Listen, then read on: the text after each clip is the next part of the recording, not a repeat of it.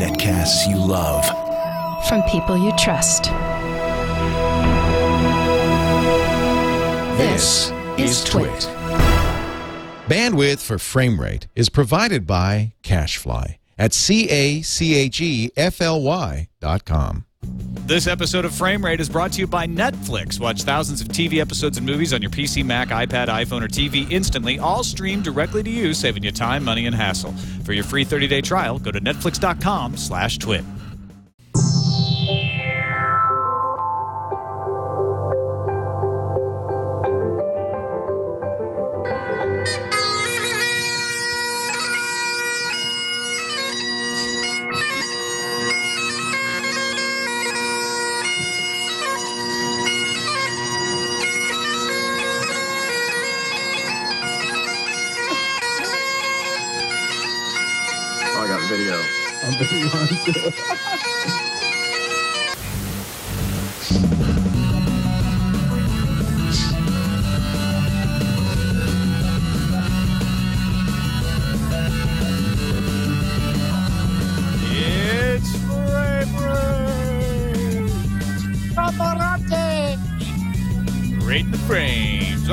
Rate episode 44.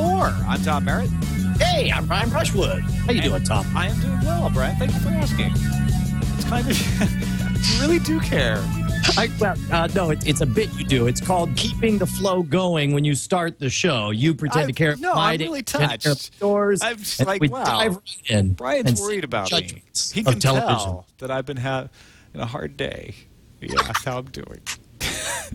Well, Um, I'll do my best to make it better for you. then. How about- Uncomfortably joining us in this awkward introduction is Andy Beach, video compression guru and author at thevideouprising.com. Welcome, Andy Beach. Hey Tom, how you doing? It's I'm, I'm doing. Uh, thank you for asking too. Uh, I just wanted to get in on the action. I, I appreciate that. You guys are He making came me here feel for the so self-esteem, but he'll stick around for the rating of the frames. Uh, hopefully, uh, he'll stick around for the big story, which is oh, I got Chad. Chad, Jason's out today, so I just threw Chad under the bus. Sorry, Chad. This just in, the big story. Yeah, okay, fine. The big story is Netflix again, but it's only because they're doing lots of stuff. Uh, they're going to, I guess, uh, s- uh, set up themselves for uh, an acquisition by Amazon. Uh, they signed a two year streaming deal with Discovery. They signed a deal with DreamWorks. And uh, Andy Beach uh, sent us a story that it points out the real reason that they split into two, two divisions of their company. Yeah, let's start. Let's actually start with that last one. I really like the article that Andy sent over. Can you walk us through this? Yeah, totally. Um, so it, it basically gets down to the, the idea that this is around uh, the streaming rights and the licensing issues, and the fact that with DVDs, basically anybody can can buy. It's called the first sale doctrine, uh, and so anyone can buy, and then you can rent it or resell it and do anything, and there's no sort of comeback to the uh, to the uh, original studios that that uh, sold it to you. With digital, all bets are off when when that goes. So uh, you're selling it to one person, but then they don't have the right to, to resell it on, and the licensing deals are completely different uh, when it when it comes to that. And so they are really sort of sort of pushing down that that path to um, uh, uh, with Netflix in in order to basically hold them over the barrel. So, so this is now. Uh, so the whole. You're saying that the split, or the article is saying, obviously, this, these are Yeah, your assertions, but that the split is an attempt to. What they don't want to do is pay for the ability for people to stream content if they're not actually streaming the content. And so this is all an attempt to get the people who are fans of the streaming to just be signed up for the streaming, and for the people who only like the DVDs by mail to only get the DVDs by mail, and in doing so, set itself up. Uh, or, or I guess. I, I'm trying to. I'm starting to mix up the stories here because there's Yeah, another. no, no, no. I know. There's so many stories. Well, Yeah, yeah, it does lead nicely into this story uh, from Larry Dignan's Between the Lines, where he basically says Reed Hastings may be trying to also separate that streaming business and lower the cost to polish it up for sale, particularly to Amazon, who's always wanted to be in the streaming business but couldn't afford to buy Netflix because of the tax considerations of having all of these DVD shipping warehouses and all the states in the United States, and we know how viciously Amazon resists paying tax. Right, and for those who aren't familiar with the the perennial tax story when it comes to Amazon, is they uh, are constantly fighting local taxes on their affiliate members, which means individuals like you know Tom, you get paid affiliate money, right? Uh, to, to, because well, they, um, I did get paid affiliate money until they withdrew the plan from California, and then I changed my address to your house. now you're getting paid under the table in pesos, courtesy of one Brian Brushwood.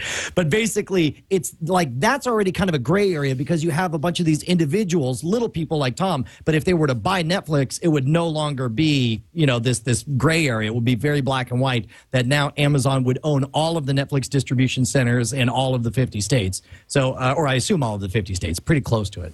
And then the idea would be that net, what Netflix gets out of the deal of selling to Amazon is Amazon has cash and leverage, right? So Amazon has uh, a huge marketplace for all of the DVDs that the studios still want to sell. I mean, a large number of DVDs are sold through Amazon. Amazon also has other other leverage with publishing houses and other arms of the businesses that these companies are, are in, and they have some cash on hand. So they can throw a little bit of cash at the deals that Netflix can't because Netflix doesn't have nearly as much cash on hand.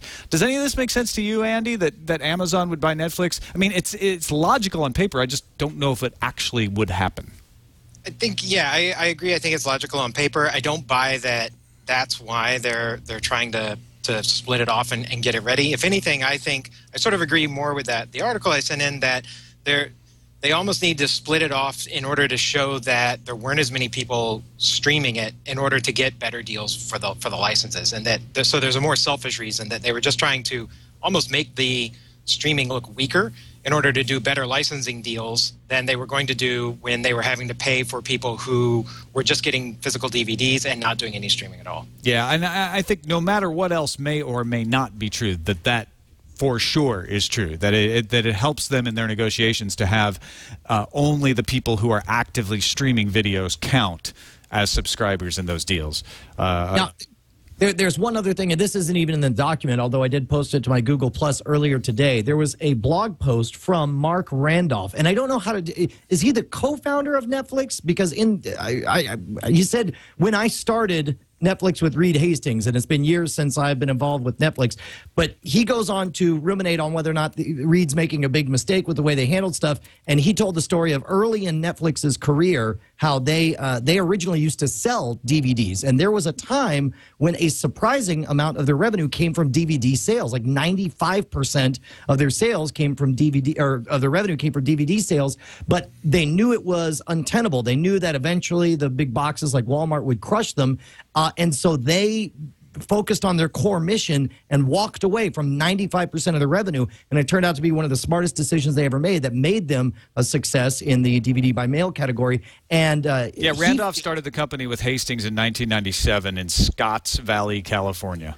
Okay, so so co-founder would would so I mean this guy you know he apparently knows the inside sauce and he seems to feel like this is really just another opportunity to make another one of those bold decisions. The only difference being is when it happened the first time, as he puts it, they annoyed tens of thousands of people, but now they're under a microscope and the entire world is watching, and so uh, the effects are are a lot louder as they uh, as they try to focus precisely on their target. Now, before we move off this big story, uh, one of the things we talked about when we first discussed Qwikster being separated from Netflix, that DVD rental business being separated from Netflix, was they were going to have to come out with some big streaming video announcements to kind of wipe all of this bad taste from people's minds. That that really the price differential and the separation weren't such bad deals that they couldn't overcome it if they got a big streaming deal. They've they've announced two streaming deals. One is with Discovery. Uh, so they get a two-year streaming deal to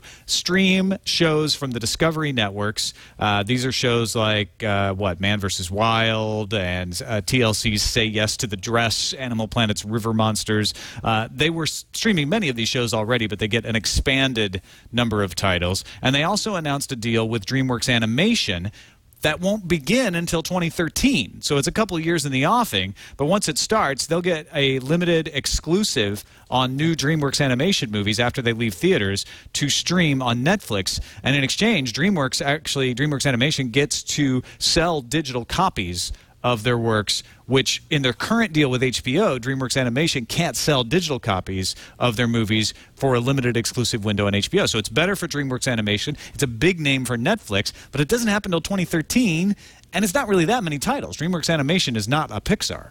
Well, it, it, it, doesn't matter. First of all, high five on us calling it correctly with the announcements. Uh, but uh, I'm not and- sure these are. That's my question. Is I'm not sure these are the big announcements that can save them.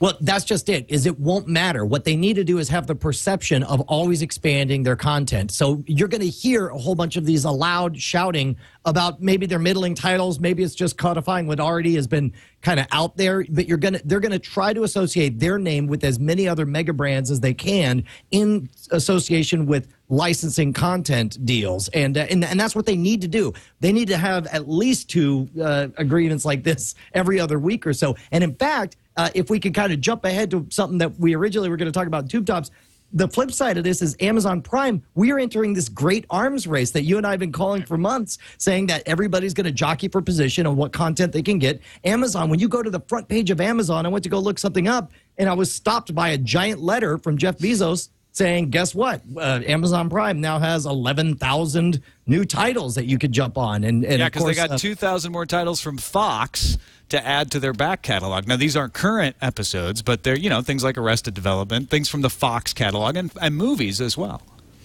uh, yes. this, so, so- this week was uh, sort of. I mean, for Netflix, it really was about like trying to take their their control back of their message, and Amazon didn't waste any time. They just tried to sort of get in there with the knife and get get sort of their payback and and sort of stake their claim in this week as well. So But I'll tell you what, from a perception standpoint, uh, Amazon Prime, we've always kind of regard, regarded as the, the the royal crown of the Coke, Pepsi, Hulu, and Netflix wars.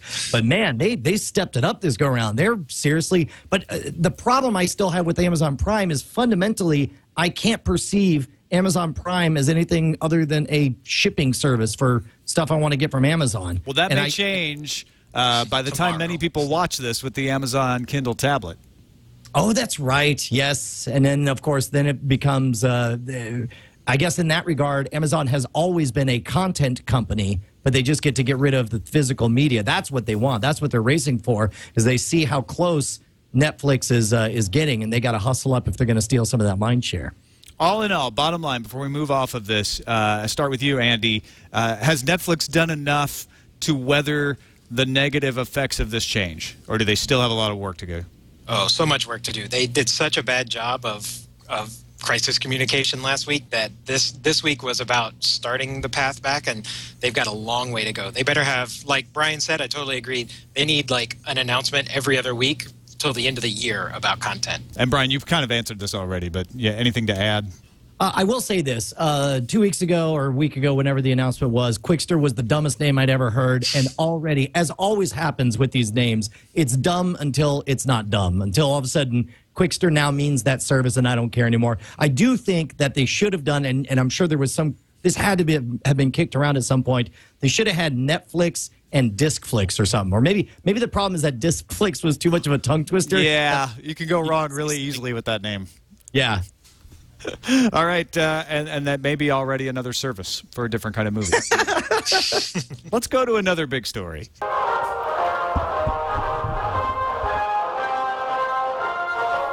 Stop everything. It's another big story. This one isn't quite as big, but I wanted to, to, to talk about it separately from the other stories uh, because it's all about cord cutting, and that's what this show is essentially about: is the idea of watching your video when and where you want to watch it. Uh, and uh, Tim Time Warner's Timothy Bewkes uh, was talking at a Goldman Sachs conference. He was being interviewed, and the interviewer, by the way, Jeff Bewkes, he's, he's, he's the CEO. I said Timothy Bewkes. It's Jeff Bewkes, CEO of Time Warner. The interviewer said uh, that cord cutting won't go away as a topic. Uh, but he's going to ask him about it anyway. And Bewkes says, cord cutting that won't go away won't come either. It hasn't arrived yet.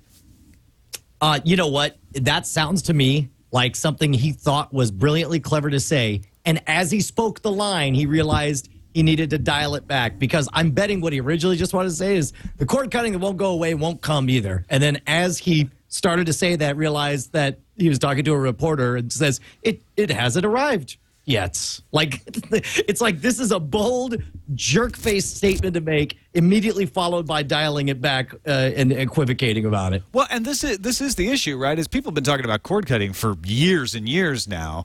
Uh, the idea of like just not using television cable services or even over the air so much, and just getting all of your video and entertainment over the internet. Uh, and and Time Warner and the other cable companies have started to lose subscribers in the past year or so, and they are, you know, very vigilant in saying that's because of the economy. It, it, we see no evidence that we're losing to companies like Netflix, companies like Hulu. In fact, we see them as partners. We see them as video on demand partners that we can sell our content to. They are another distribution outlet for, for us. Uh, you- so we have no problem licensing to them. Do you think that this is all just talk? I mean, the way you're saying it now makes me think that maybe you suspect that this is all just damage control, and that seriously, it's a bigger threat to them than they're willing to admit. I publicly. think that they they believe their own. Uh, they're, they're eating their own dog food. They believe their own rhetoric that this is just the economy. But there's a nagging doubt in the back of their minds that maybe they're missing something, and that yeah, that's right. It, it does look like it's just the economy. And, but they know that it might not stay that way. And in fact, the economy may push people into never coming back. Uh, because even if it was the economy that made you cut your cable, you may start to find content elsewhere, uh, not even just video content, but other things to do, other things to entertain yourself that will prevent you from coming back. Andy, I want to ask you how you get your video entertainment. Uh, I'm a Dish subscriber, actually. So. I'm So you had Dish, DVR? Blockbuster stuff. Yeah, I have a Dish DVR with the Sling in it. Um, but do then you do I, do you do much uh, watching a video uh, aside from work? Because you're a video compression guy, so you probably have to watch a lot of video on the internet. But for entertainment, do you watch a lot of video that comes from the internet? Oh, absolutely. I mean, we've we've sort of deferred. Like, you know, we we obviously have a Netflix account. and We do that, but more and more we're actually using Amazon on demand because we'll buy whole seasons of shows and and do catch up that way. So and and so you're emblematic, as am I, as a, as is Brian, of what Jeff Bewkes is saying, which is people aren't cutting their Direct TV, their Dish, their their uh, Time Warner. They're actually adding Netflix and Hulu to their already existing portfolio of sources. Yeah, and I feel like you know, I mean, it's it's different. I, you know, I'm, I'm married. Uh, my wife, there's no way she would she would let me give up uh, on on sort of the quote unquote regular cable type TV uh, because she wants the wider range of things to watch, uh, whereas I have very specific things I want to watch, and I would probably happily cut the cord myself and and just get everything off of the internet. Um, so, and I think that's probably the case in a lot of sort of family type places. Like, there's no way. I bet Brian could get rid of, of cable anytime No, soon. absolutely, and I would I would love to, but the problem is my dad comes over, he wants to see the football game, and I'd be like, well, you might be able to find a UStream that's pirating it, and you know that's not going to.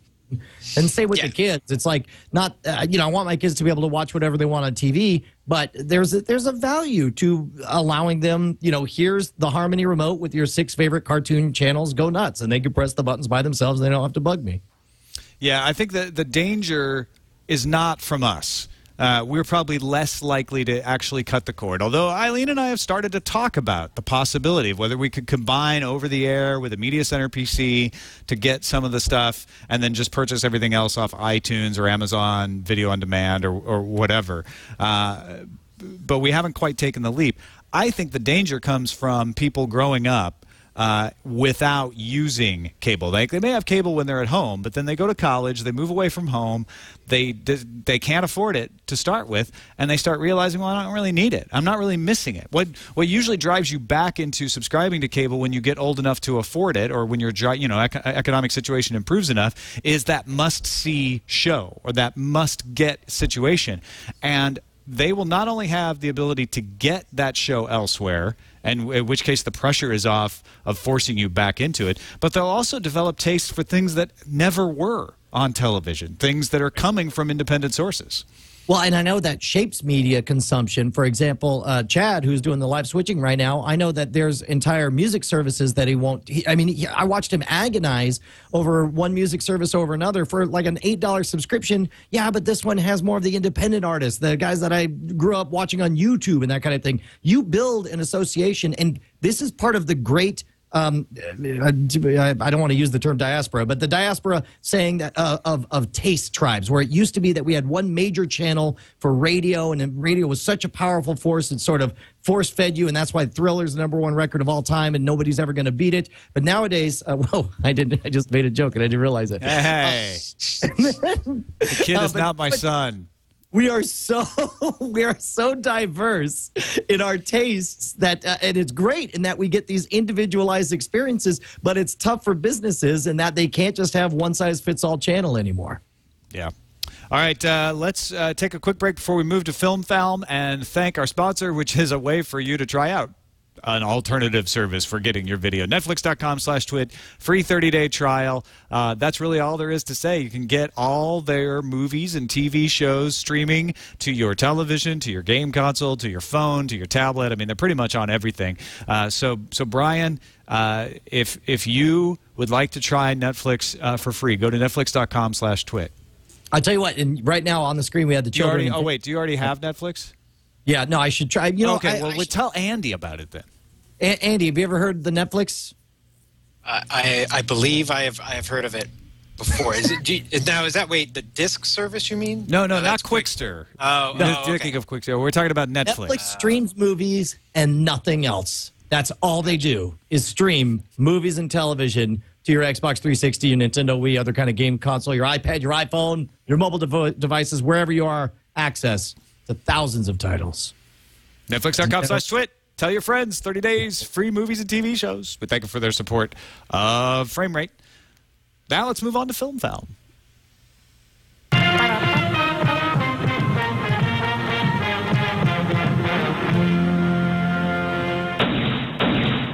So our first story in Film Film, it applies to television shows too, but it's perfect for Andy Beach. Blockbuster Movie Pass offers Dish Network customers streaming video and disc by mail for just ten dollars a month. So we'll start with the actual Dish Network customer. The one Does- who could try it. Is this actually, uh, you know, is- something appealing to you? Uh, and then we'll move to Brian, who would have to wait for them to eventually offer this to non-Dish customers, right? The, to start with, they're just offering it to Dish customers. Right. Yeah. Um, well, I'm definitely interested to, to see what they're going to roll out here. Um, the quality of the service and how many more titles they can get in, because obviously they're limited in the titles right now that they they have to offer. But definitely interested in giving it a shot. Don't know if I would take advantage of the discs or not. That's I almost you know I feel like physical media has been dead to me for a while, and I'm happy to leave it that way. Uh, but my wife probably will use it, so you know I'm curious to to check it out. And they I gotta believe they're going to open this up to a wider audience as soon as they sort of you know get the kinks out of it. And games. Do, will you take advantage? Do you Oh. play video games? Uh, I I play some online game stuff, but I'm not really much of a of like a gamer console game type stuff. So probably probably won't do that too much. The, but even just the streaming part of it, if it's good and they get a good content, I would I would happily jump on that. Now, the key element of this is that you already have a Dish Network box. So you don't have to go Exactly. buy anything. You already have the ability to stream these videos because it comes on your box. They did say that they are going to release a version of this service for non Dish customers, which would mean you'd have to have some way of accessing it. Brian, does that appeal to you at all? Uh, yeah, look, it's going to be really hard for them to convince me that there's a reason to jump from an existing service. Um, and and again, I'm the same way. Uh, I I like games a lot. I even like console games. But what's funny is all the console games I play, I download through the Xbox Marketplace. Or and if they're not available there, that means they're usually a, a big AAA title. In which case, I download those on my PC through Steam. And it's like uh, I am now for physical media with games, where I suspect everyone's going to be as far as movie media 10 years from now where i just can't even be like like oh yes no please send me something by mail so i can walk all the way to the living room and put this into my xbox oh you killed me Yeah, I, I I'm look I look at it as you know, would I switch to Dish for this?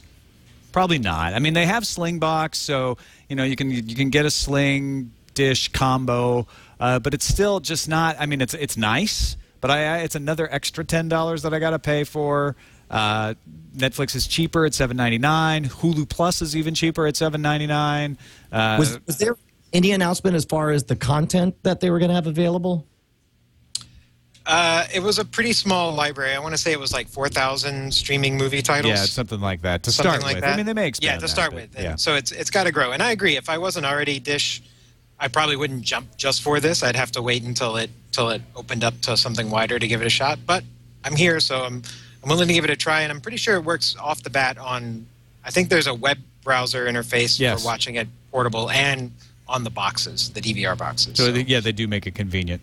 Uh, Roku is currently my still my favorite recommendation as far as putting something in your home theater in your television for streaming video, just because it's so cheap and convenient, easy to set up.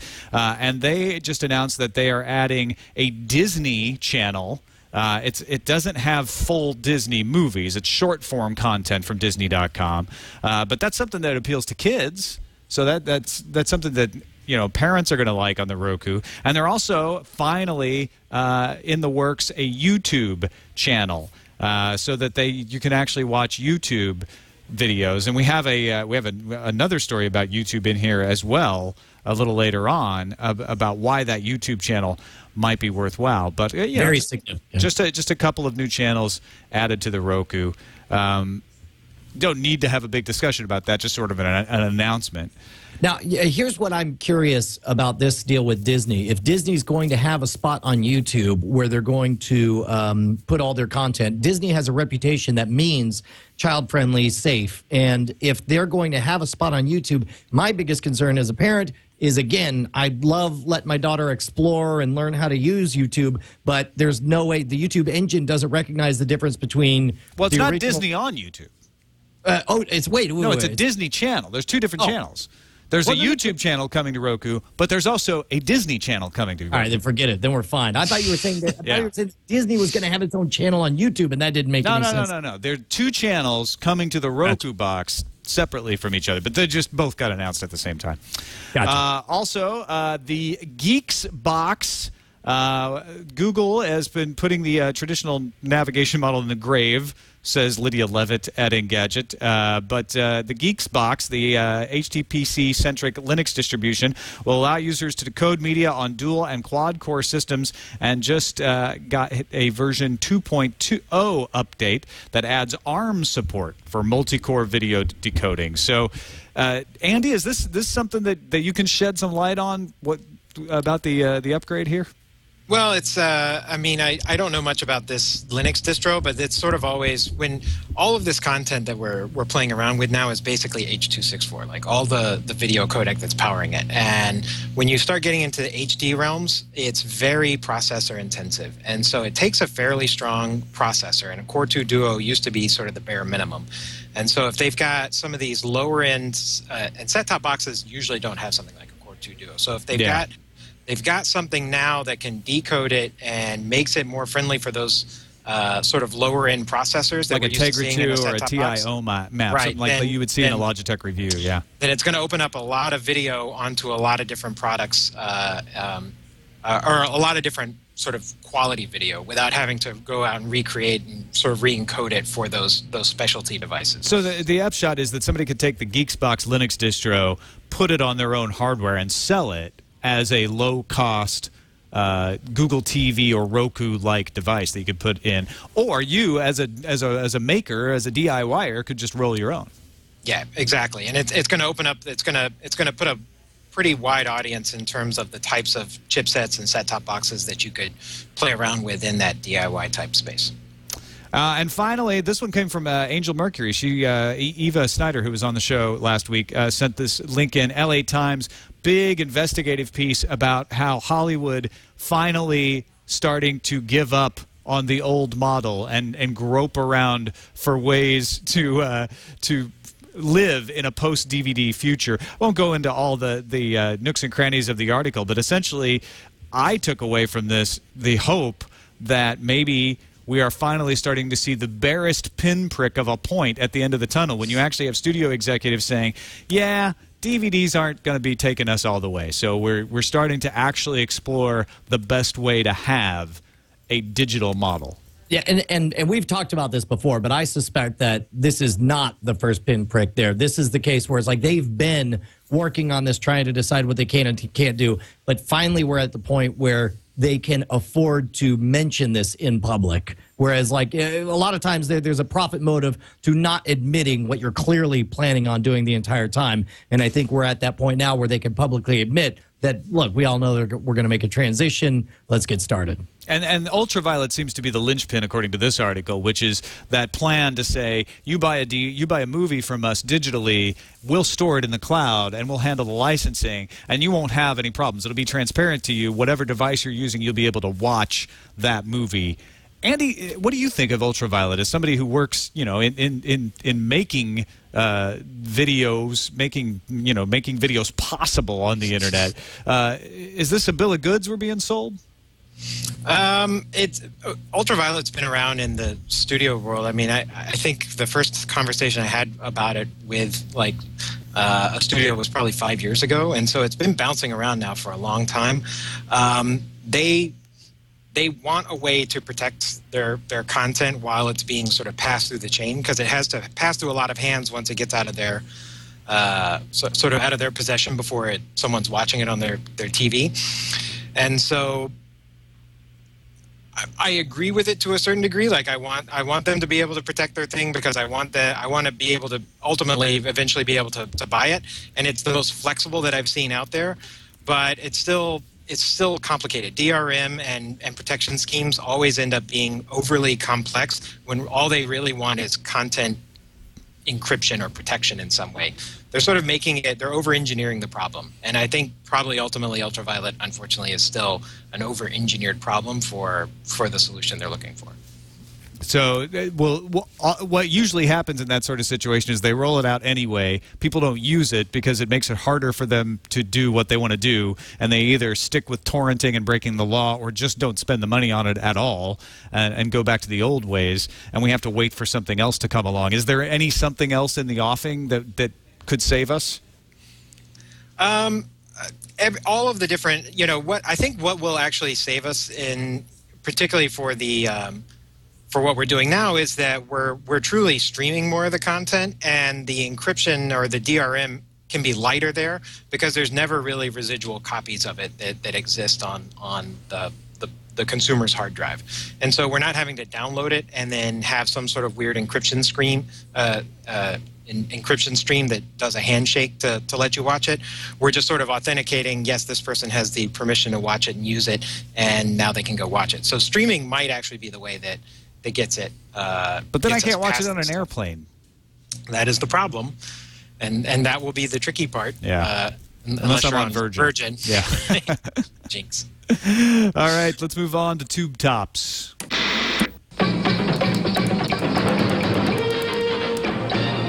Business Insider, uh, you know, sometimes they report things a little fast and loose, so take that with a grain of salt. But they say they got some sources uh, in the Hulu bidding wars that say TV provider Dish was the highest bidder for Hulu, coming in around 1.9 billion, beating out both Amazon and Yahoo. Google bid much more, something in the range of four billion dollars, but that came with special conditions that we previously talked about on frame rate. They wanted more content for a longer period of time, and maybe some other concessions that that the current owners of Hulu were not willing to agree to because they're the studios that license all this material. Uh, what do you guys make of this? Brian, do, do, do, yeah, out of the whole to... article, first of all, I mean, out of nowhere, Dish Network jumping in, and of course, this ties back into what we were talking about earlier about. Uh, I mean, Dish is moving all over the map this week with these stories, not only with the live streaming stuff, but now with the Hulu acquisition, and if in fact that's what happens.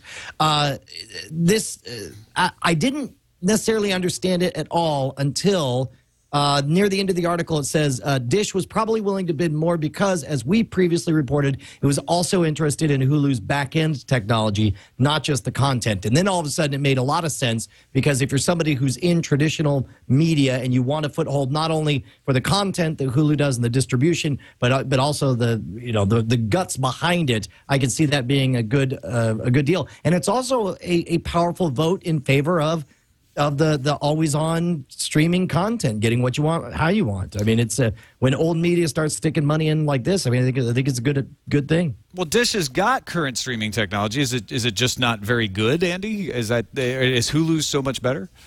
Uh, so it's it's not that it's. Uh, I think they're they are looking. One thing about Dish is they've always been very tech sort of tech forward and very tech savvy. And so the fact that they're going after Hulu wouldn't surprise me um, because they're looking to diversify as much as possible. And and I would agree that they very well might want access to the the back end technology. And, and what they're really trying to get at is it's very you know doing the deals with the studios in order to get access to their content to be able to encode it and then host it and deliver it. You you have to go through a lot of security steps with them. And those those are hard things to sort of create and then negotiate. And so if they can walk in and buy something rather than having to build it out themselves it's it's a much faster process in order to, to get up and running And that it sounds like from the Business Insider story, and again, this is all based on rumors and, and, and undisclosed sources, but uh, Hulu wanted about two billion or more, and nobody bid that, or at least not without concessions, uh, like like Google asked for. Uh, so they may not sell at all. We may we may see Hulu just decide to stick with their current studio owners. I, I hope uh, I hope they do sell, and I don't even care to who. I just love the idea of them being unencumbered so that they can play hardball with the uh, with the content. It's kind of like when you wanted Ross Perot to win Maine, so some electoral votes would just go to somebody else for once. yes, just on principle. It's Yeah. like, yeah, no, we need we need a fight. Go, come on, wrestle. Uh, and uh, just a note here paid content does a regular comparison of streaming video services. If you're a little confused about all the changes with Netflix and Qwikster and Hulu versus Hulu Plus and the new blockbuster streaming from Dish, and what has Amazon got now that they've added all these 2,000 shows and movies from Fox, uh, they have a great uh, article up that uh, will show you the differences between all of these these these different uh, services, so you can kind of look at the pricing and what sources they have for the videos and the the titles that they have and all of that stuff. So check it out, uh, paid content. Uh, I, I didn't really you know see anything in here that changed my mind about the services I use. I kind of cobble stuff together. I don't pay for Hulu Plus anymore. I do pay for Netflix, uh, and I use Amazon uh, Instant Video. On an ad hoc basis, even though I am an Amazon Prime subscriber, I almost never do the Amazon Prime uh, streaming. I usually just buy and download episodes. Did, did you get a chance to look at this, uh, Brian? I, I, I mean, I went through it. I'm just shocked that you unsubscribed to Hulu Plus. I can't bring myself to unsubscribe for anything. I still have. I, I still- paused it. I actually $8 didn't cancel it. I just, you know, you can put it on on a hold. Yeah, but there's something about like I need I need to have something I can sell for nine dollars a month because I have I still have subscriptions and fees for stuff. Uh, there's domains I haven't touched in ten years that could continue to, you know, pay like eight bucks a month for. I'm like, what am I doing? I, I got to go through. I got to cancel all my credit cards and then only mitigate or migrate over everything that I really truly like. Andy, do you- did you get a chance to look at this chart, or do you have you know your favorite services? I know you mentioned you you use Netflix and Amazon. Yeah, and I actually just paused my Hulu account after I heard Yeah. you say you could do it. I was like, ooh, so I investigated and, and I because honestly, the only thing I was using it to, to watch was pretty much the Daily Show at this point. And I could watch that directly on Comedy Central's website. So Yeah. so I, I kind of got out of it. Um, uh, but I, again, I couldn't bring myself to break up with it, so I, I just paused it for the moment. So I think it's Just paused for put your relationship on hold. Exactly. Uh, but I really like You're taking a break. on demand. Uh, that's probably my it's probably my, my go-to favorite. I tend to find more new stuff there that I want to watch. Um, but I, I kind of go through the Prime stuff just because it's it's there and I'm already a customer, and so I was happy to find a bunch of random stuff. There's a lot of old Brit Brit TV there, so I'm surprised you don't watch more of it. Yeah, I just I, I never went there. That was the thing. Yeah. It's like they don't have the Avengers. Ah, In fact, well. Netflix doesn't even have the Avengers anymore. Google TV, according to SlashGear, is set to launch a new version of its offering later this year, and they will get a version of TV Everywhere that will give you access to full-length shows if you're a paying cable customer from TNT and TBS. So they're getting the Turner stuff, the Time Warner stuff, uh, but you will have to log in and validate yourself as a paying cable subscriber to get it. So it's not like they're unblocking Chrome; they're making you authenticate as a subscriber. Yeah, that's uh, I, I, I we live. Remember, we did the the iPad experience with the Time Warner app on there, and HBO Go. Of course, I couldn't get to work because I lived in the wrong zip code, had the wrong provider, or whatever. Um, I suspect that the whole ease of activation hurdle is bigger than more people give them credit to. Because most people, when it comes to trying something new, if it's not dead simple and works super easy the first time they do it, I, I mean, I haven't gone back to try again with the iPad app or any of that other stuff. Well, yeah, HBO Go. Uh, I had lots of issues where I would sign in, and then the next time I went to sign in, it'd say, "Oh, you got to authenticate again," and I had to go through the whole darn process with the drop-down menu and the login on DirecTV and authenticate. It's just a pain when I just want to watch an episode of Treme or Game of Thrones or something. But, and it's one of those things where it's like you only get a couple of coupons to tick off a customer, and then they're just like, ah, I got my other thing that I do. I got my BitTorrent thing. Eh, I'll just stick to that. And uh, uh, oh man, my my graphics card just freaked out. I may suddenly drop off here. We'll see how long I'm able to stay on. what happened? My graphics card just totally freaked out. Uh, I guess it's oh, and Oh. now I can't see anything. Yeah, you I don't just know froze. not. Are you are you gonna have to reboot?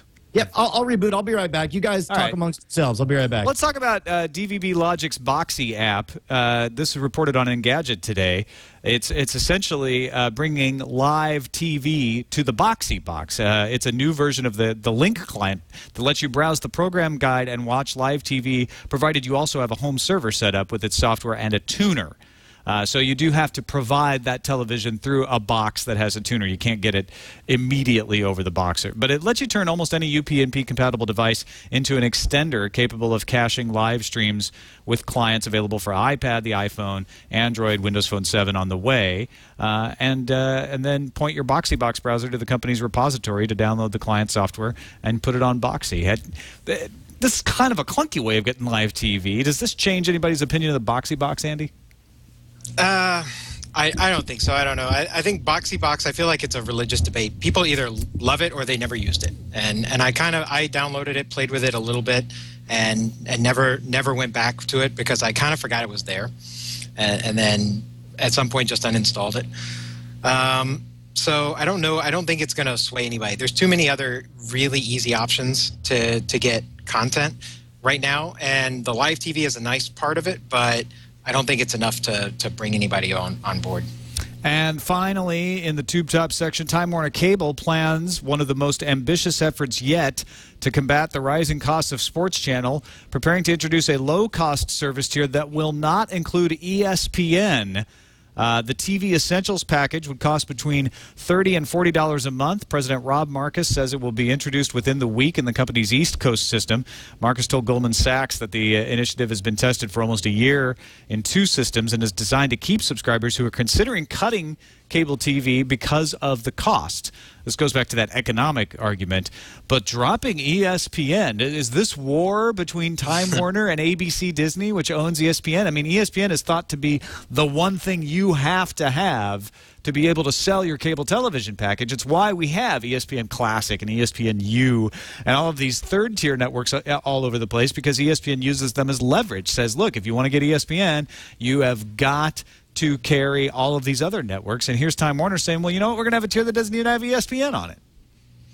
Yeah, I'm surprised this hasn't actually shown up sooner. And I, I actually thought they had talked about this much earlier in the year, and maybe maybe they did, and then it just went away uh, for a while. But um, you know, again, this one kind of goes back to either either you want your sports or you don't. And so um, I think I think there's probably a perception that a lot of cord cutters are guys that or girls who don't necessarily are care could care less about sports, and so they'd be willing to to forego. Um, uh, forego sports uh, if as, if they were cutting cords to begin with, and so this is an option to keep those people on board. Whereas if you like sports, and particularly if you like live sports, you are always going to stick with cable because that you know the the pirated Justin TV link is not the way to go to if you're going to be watching uh, your games. Well, Oh, you're we- talking we've got- about the yeah, story I put Brian in there about now. ESPN. No Yeah, ESPN, yeah. right? Thirty Yeah. to forty dollars doesn't seem like that big of a bargain, though. Uh, it, it doesn't matter though. The fact that this is even, I mean, when have you ever seen a fractioning of the block? You know, this is, the closest we've ever come to, to the beginning of a la carte cable service. This is huge that they'll that they're willing to, to to chip off ESPN from the block. I think. I don't know. Uh, Well, ABC doesn't own a cable company, do they? ABC Disney? Uh, because otherwise, I would expect the ABC Disney owned cable company to immediately start offering a version without CNN, TNT, and TBS. I mean, that just uh, the idea that Time Warner Cable. I mean, and I know Time Warner Cable is separate from Time Warner TV, so maybe maybe Sure, that- sure, sure. that's not going to happen that way. But it does seem to be a big blow because, as as we were mentioning when you were rebooting, uh, ESPN usually is like if you want to carry ESPN, you got to do what we say, and so it's kind of amazing to see a cable company turn their backs on them that way. Let's move on to what we're watching, and we have a Kuhan submitted uh, introduction. Chad, do you have that? Yeah, have that loaded up. Let's let's see. This is a, uh, a submission. What are we watching? Uh, unforgivable typeface there, Kuhan. But I like I like the concept. We're grading on a curve. You you were there first, so that you get a, you get our blessing. We'll see if you maintain your position as the current champ for the intro. Hey, what are we watching, Tom? Uh, well, I saw the film Moneyball this weekend. Oh my gosh! Did either of you Tell guys see me that? No. I want to see it. And uh, Justin Robert Young has been talking about the book forever. He's been talking about the movie. Uh, he went and saw it. He loved it. And I know you have a unique perspective because you actually went to the games during I that season. lived it, baby. Uh, yeah, no, that, that that's the interesting thing. For those who don't know, Moneyball, based on the book by Michael Lewis about how the Oakland A's operated in the early 2000s, uh, looking for advantages because they're a small budget team. They only had 39 million to spend on salary when the New York Yankees had 114 million, uh, and they created a very competitive team by valuing stats in a world where Major League Baseball didn't value stats. They they valued the old-fashioned way of looking at a player and value evaluating the five tools. Uh, so the, the movie is is less of a, of an inspection of all of that and more of telling the story of the 2003 season uh, when Billy Beane sort of made a lot of moves based on this theory. Uh, they, they have a fictional uh, assistant played by Jonah Thomas. Wait, is that what Jonah? Yeah. Uh, Jonah Jonah, Hill. Hill. Uh, That they br- they bring on, he kind of represents a few different people in the A's organization uh, to go with general manager Billy Beane and try this different way of approaching the ball team. Talks about the conflicts he has with the manager Art Howe and the and the field coach uh, Ron Washington. But in that season, they actually win 20 games in a row, setting a record, and they go to the division series uh, and and and play and do very well. They win the division that year, so it shows that they could buck the wisdom and have a very successful team uh, by having this this looking at stats. It's a great movie. Having been a season ticket holder during that season, it brought it all back. They treated it very well. Uh, it really felt true to baseball. It felt true to the story for the most part, with with some oversimplifications, uh, and it felt true to the A's. Like they shot it in the Oakland Alameda Coliseum, the the McAfee Coliseum, uh, and and and it showed you know the grungy, dirty uh, condition of the stadium that's that's really old and shared with the Raiders. And I just felt like it was great for me as a fan. I've talked to a few other people who aren't as into the A's for sure, even as into baseball, and they've said, eh, "I felt, you know, I felt like it, you know, it maybe glossed over some stuff. Wasn't as compelling. It was a good movie, uh, but but overall, I, th- I just I really enjoyed it. I thought it was a fun movie.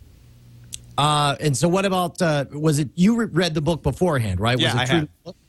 Well, yes. I mean, as much as the book talks about, you know, the idea of valuing on base percentage, OPS, uh, you know, runs created as a stat and evaluating players on that, uh, it's it's true to the book and it's true to the events which the book covers. Uh, it it definitely glosses over a lot of points. Uh, there's some things. That it's funny. I read one review where uh, a baseball writer said, "I now understand." When Star Wars fans get outraged because something changes and doesn't fit the universe Yes. uh, or is unlikely to happen in physics because I watched Moneyball and I'm like, well, wait a minute, that's not the way baseball works. You're you're Right. glossing over something. He's like, but it wasn't fatal to the movie. It's it's just one of those little things, and there are a few things like that. Uh, yeah, that was the whole discussion. Justin Robert Young and I have gone back and forth over uh, Jurassic Park. My favorite part of the book was, of course, the chaos theory, complex systems, and how uh, how easily they break down. And of course, none of that was in the movie. So he couldn't understand how it's like, you know, how you could be disappointed with the movie when Jurassic Park was a great movie. It just didn't have the parts that I loved the most in the book. So I was curious if you ran into the same thing with Moneyball. Yeah, and the thing is, Michael Lewis, you know, does these famous investigations, these sort of essays, these long essays about, uh, you know, the way the stock market works, the way baseball works, the way football works, uh, and and so turning that into a movie, you're not really turning the essay into a movie. You're turning the subject of the essay into a movie. Uh, Right. But but but most, you know, they they didn't dive into the theory too much, but what they did touch on was accurate enough. For me to accept it in a movie situation. Uh, real quickly, TV wise, Fringe is back. How are you doing on Yes. the Fringe catch up? Uh, you know what? I'm on pause because I've been on the road so much, so I, I do have to. That's I'm not still gonna get better either, Fringe. But Yeah. luckily, I didn't even know that Fringe was out. That's how good and insulated I'm That's being good. as far Okay. as the story. Are you happy? Are you happy with the premiere? Yeah, the premiere was great. I enjoyed it. I'm back into it, having fun. Person of interest is J.J. Abrams' new show on CBS. Well, he backs it. Uh, he's not directly involved in it, but he's sort of the executive It's- producer on it, right? Jonathan Nolan, who's Chris Nolan's right. uh, uh, brother. Yeah, is is doing the uh, the, the hands-on producing Right. of it. That that was good. I actually wasn't expecting it to draw me in. I started watching it just thinking I might fast forward, and I ended up watching the whole thing. It's got Michael Emerson in it from Lost as one of the main characters, so that's pretty cool. Terra Nova. uh, I'm going to keep watching it, but don't bother. I'm going to blame you. Okay, now I'm going to say on my what's what we're watching. I wrote, I almost wrote Terra Nova, and I kid you not. Last night I called because I was right working out travel, and uh, and I I was just like, oh, I'm just about to watch Terra Nova, but it's not, it's real late. I'll have to stay up late to watch it. And Tom's like, just go to bed. It's- No, I actually answered the phone. Uh, not enjoying watching Terra Nova. What's going on? you interrupted me not enjoying Terra Nova. That's what. Yeah, exactly. That's what I said. uh, which is too bad because it's like visually, it's got all the elements. It's like uh, they they got freaking dinosaurs. Yeah, the dinosaurs look great. If you just want to mute it and watch, you probably get just as much out of it. It's so far, it's just way too predictable and teen angsty and, and boring in places. It's sad. Well, that was the funny part. Was like uh, the reason I didn't watch it live was because I tuned in 15 minutes late, and of everything I saw in the previews, the most engaging stuff was the stuff on the polluted, destroyed Earth. And I was like, well, I want to see all that stuff. So I was holding off until I could get the whole thing, and then uh, and then you told me not even to bother. So now I'm sad. Uh, it may get better. These things happen, you know, where the pilot absolutely just reeks and then they start to hit their stride later. So I'm going to keep watching it and I'll report back. Uh, Pan Am, I thought was good, actually. It was fun. It's not nearly as much like Mad Men as I expected. Oh, really? I, mean, it's set in the 60s, but yeah, it's a different tone. But it's it's uh, is it more lighthearted? Yes, or, it is. or- Well, it's it's it's more about the world, uh, and it's about the characters. And one of there's a little spy story, a little love story, but it's not this like you know gloom and doom, impending furrowed brow. Uh, you know, meditating on the condition of humanity. It's it's it's more lighthearted than Mad Men in that. Yeah, the respect. marketing makes it look uh, lighthearted. I'm almost picturing kind of a Melrose Place in the 1960s in the skies. yeah, think type. think Bobby Darin, not Beatnik Jazz. Okay, I'll take that. Did you Uh, watch it, Andy? uh, Uh, I have it taped. I haven't watched it Oh, yet. okay, cool. So Uh, and then just uh, just a note that coming up, uh, we have Doctor Who's finale of season six uh, this Saturday on BBC and BBC America, and uh, Warehouse 13 finale on Monday. Uh, yes. So uh, watching, uh, dude, the return of Always Sunny in Philadelphia is amazing. Uh, they, if you don't know, one of the main characters, uh, Mac, has gained 50 pounds of real fat on his body just because the actor thought that would be funny this year. That is hilarious. Like he just did it for kicks. He wasn't ordered to do it or anything, right? No, he's just like, you know what'd be funny is if I was just really fat this season and go. That's what they did. And, uh, you know, and in fact, there's some behind the scenes featurettes that people are, uh, you can find if you Google Always Sunny Fat Mac and you'll find them. Uh, but uh, very, it's such a great show, and I got to get you hooked into it. It's one of those that you watch one episode, you're like, oh, that's kind of funny, but once you get three or four into you, you're, it's the maybe one of the funniest shows I've ever seen, uh, which is funny considering how uh, how formulaic it is, almost to a fault. But it's like you still love the characters, and they're just genuinely terrible, terrible people. And of course, Breaking Bad as well, which I only only got halfway through last night's episode or the other night's episode. Don't tell me what happens. Oh my gosh, yeah. No, Breaking Bad just consistently amazing. Uh, I, I I feel like I've been watching one long movie in several parts. Is the way I feel now. I don't feel like I've caught up to a series and I'm like, oh yeah, this is season four. It feels different from season three. It's just one long consistent story. And all I'll say is I've kind of reached the end of my limit of patience with Walt. Uh, well, I'm telling you, like like they have. It's been a systematic uh, attempt to make uh, previously relatable characters Yeah. unrelatable, and and they they've done that with Walter, and they've done the reverse with with with Gus and uh, and with well, I mean they did that with Jesse Pinkman early on. Yeah, yeah, it's a kind of bit of flip flop there. Andy, anything to add before we move on? Uh, well, I've actually really been waiting for the league to come back on. I'm a big fan of the league on FX. Hilarious about fantasy football. Oh yeah, yeah, yeah. It's, And, it's I- and I've, absolutely heard, hilarious. I've heard people say it. You don't even have to care about football or play fantasy football to enjoy it. I, I don't like football. I could care less about it. I don't play fantasy football. I think that show is hilarious. Wow, Good plug. FX. Usually it's Brian making the FX plugs. So I like that one. Uh, Brian, I'm surprised you don't watch uh, Archer on FX. Speaking of, Oh my gosh! is- Well, you know the t- the uh, the folks who do Archer. Uh, first of all, that's H. Jon Benjamin as the voice, who I loved as Coach McGuirk, and uh, I believe the team is the same people who did Sealab 2021, and um, forgot the one that came on after it. Uh, that I really enjoyed that one as well.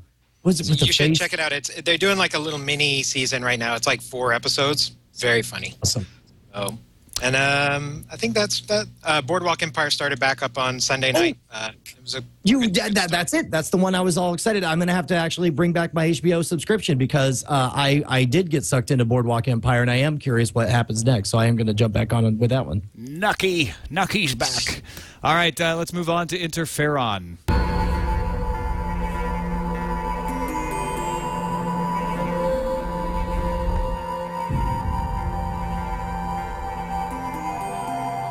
So we could put uh, put a, put this in tube tops too, I guess, because it's YouTube. But uh, a report on Scribble.com says that YouTube is finalizing paperwork that would allow it to launch a channel featuring regularly scheduled content. It's likely to be the first of more than a dozen such channels. The content would apparently focus on a broad range of themes from sports to fashion. Uh, and they uh, asked for some of the content it plans to include on the channel to be ready within the next two months and is aiming to launch the channel early next year. All of this being passed along from the Wall Street Journal. So it sounds like YouTube is paying content creators to create several million dollars worth of curated content for linear channels that they would program like television. You'd have a, a strip of, of, of programming that you would be that would be scheduled to air, so to speak, on YouTube. Well, this this is uh, in step with what they're doing with the YouTube Live experience, and it's actually, I think, a testament to what we're doing here at TWiT. I mean, there's a lot of people who watch TWiT as a TV channel. They leave it on, they they tune in, they whatever show happens to be on, they watch for a while, and most importantly, they participate in the live chat. And I think that's what they want to capture on YouTube. And I tell you, it. Uh, it makes sense, especially think about how young the demographic skews with YouTube. These are people who want to experience media socially. That's the reason that we're seeing uh, the ability to watch movies socially on Facebook. YouTube has the infrastructure and the ability to do that. All they got to do is set up channels, and I think this is exactly what they ought to be doing. Well, and Or you, that's why YouTube coming to Roku makes sense to me. YouTube is already on the Apple TV. Uh, YouTube is available in a lot of these apps on smart TVs, and so I, I think it does make sense for YouTube to try to create themselves as a channel. To and I think somebody has to do it, whether it's YouTube or someone else, to say we are going to be uh, an internet channel that competes with the big TV channels. I mean, yes, TWiT is an internet channel, and we get a lot of people watching us, but we don't really compete with the TV channels because nobody on TV is doing what we're doing. Uh, Right. And what YouTube seems to be saying, and what I think has to happen eventually, is somebody has to go, you know what, we're going to make uh, dramas, we're going to make sitcoms, we're going to make, uh, you know, Bravo TV like reality shows, and we're going to go head to head with this. Andy, do you think it's a good idea, is or is it too early? No, I think they definitely they're they're the right guys to be experimenting with this stuff. Um, I just don't want them to do a copy paste of what you can get on on linear TV today. So I, I want them to be able to break out and do something more unique with it, I- uh, and hopefully that's the the way they'll go. I don't think that there's any problem with that. Uh, I think what, what they're going to do is is do on purpose what I think happens naturally. For example, uh, Scam School drops every Wednesday night at around 9 p.m. Central, and it's amazing how many people just sit there. They go to the Scam School page and they just keep hitting refresh so that they can be the first. And of course, they all post the word first and all that annoying stuff. But why not make that an event? Why not have it be? it's nine o'clock on Wednesday night, and let's all tune in together. And there's a chat, and oh, OMG, we're all watching this together. This is cool. I think there's a place for that. I think that fosters community, and it gives you that social television experience that they that they need in order to uh, get more credibility. Well, and above and beyond that, if they're talking Wall Street Journal's reporting millions of dollars, that means they might be setting up actual Hollywood level budgets. Uh, and, I, and I don't see any names attached to this, so I, don't, I, I can't say who is actually going to create this content. But, you know, theoretically, you could get some content that can compete with network level content. That would be interesting to see, you know, in an apples to apples comparison, whether people do change their behaviors and start watching television on the internet when it's like this isn't about like oh well we're delaying our tv broadcast for eight days. This was made for the internet. I mean netflix has already led the way by commissioning one show but this sounds like it's a whole network What you know what this also paves the way for is there's a lot of niches that are filled in television that should be filled on YouTube, and this would pave the way for a daily show of the internet on YouTube, or uh, you know all, all the take all the analogs that we have out there in television. They they are regular content released at a regular time. This this can make possible the Tonight Show of YouTube. I Yeah, mean, there's no reason you couldn't do something like that. Exactly. All right. Uh, we got uh, some webisodes coming in support of The Walking Dead, launching on Monday, October 3rd at 2 p.m. Thanks to Adam12 uh, for sending along the press release about that. Uh, yeah, apparently they just fired off a bunch of stuff. This is the email he sent in to framerateshow at gmail.com. Six episodes, six webisodes for The Walking Dead are all going to drop at once. They won't be uh, they won't be released over time, but Monday, October 3rd at 2 p.m. Eastern at AMC TV, you can watch all the webisodes. I love all this stuff. I love I love all the the, the Breaking Bad webisodes. If you've never seen those, are fantastic. Uh, I love this is a great vehicle to get supplements to the bigger story, but that doesn't belong in the big story. That gives you a chance to flesh out characters and that kind of thing. And then finally, I wanted to throw out a, uh, a, a, a note about the International One Minute Movie Festival. I saw this on Wired today. It's the Film Minute. So if you go to filmminute.com, uh, they pulled in a lineup of 25 short films from 18 countries, including South Africa, Pakistan, Romania, and Argentina. Uh, Argentina? Argentina. Argentina.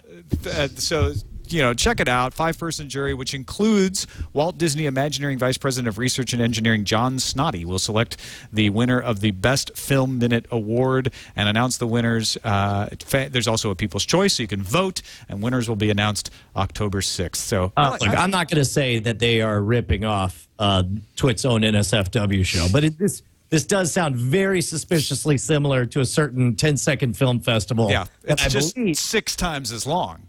Well, yes, exactly. They just think that they can throw, they can sextuple the budget of time, and all of a sudden they'll have something new. We're on to you. Sorry, I don't know Jason what- Howell won't put up with How it. How do you, having done a 10 second film festival film for an SFW show, I just don't see how you could fill 60 seconds. Uh, you, you know what? It's these gimmicky teenagers. They Yeah. think that by having six times as much room, they're going to fill it up. You're just padding it. It's the same story that you tell in 10 seconds, just taking a whole minute long. All right, let's finish up with some frame rate feedback.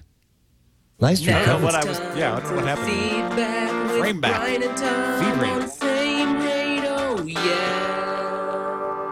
Take it away, Brian.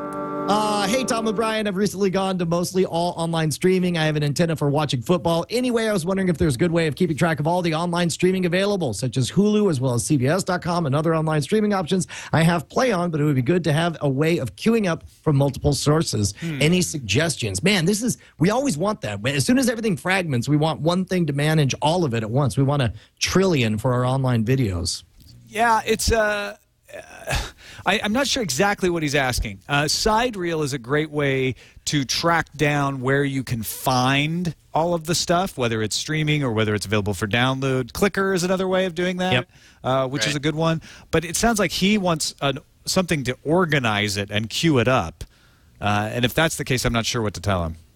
Yeah, uh, there's one other thing that popped in here because we had so much other news. We didn't do a lot of uh, user submission stuff. However, I wanted to show this. This is a billboard that's up in England that equates piracy to terrorism. Uh, and it says here, I'm gonna my my video card's freaking out again, but it says here a bomb won't go off here because weeks before the criminal pirating films was caught by monitoring his internet history. Pirating films fu- funds terrorism and organized crime. Reported today. Call the confidential anti-terrorist hotline. Does Now- pirating films fund terrorism? Um, sure, I can say that. How does someone taking and ripping a DVD illegally and put it up on BitTorrent for no money fund anything? Uh, what are you supporting the terrorists? Is that what you? is yeah, I know. Well, that's the problem with this kind of stuff, right? You you set up the argument one so one-sided that you know it's like saying child pornographers are terrorists. Well, if you oppose us in any way, you obviously support the terrorists. Uh, some people are shouting fake in the chat room. Others are shouting old. So if you got fake and old. I- there we I go. That makes me feel better. those two internet standbys, it's either fake or old. Fake Uh, old. Tell us which one it is.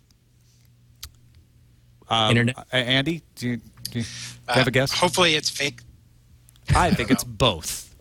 All right, that's it for this episode of Frame Rate. Thank you, Andy Beach, uh, for joining us. We didn't we didn't make as good a use of your video like codec brain uh, as I would like. We just didn't have the story, so we will definitely want to have you back uh, on the show if you'll have us, because I know you know a lot about the nuts and bolts of how this stuff works. But but thanks for uh, for joining us and and sharing the, your wisdom with us. Let folks know where they can find what you do online.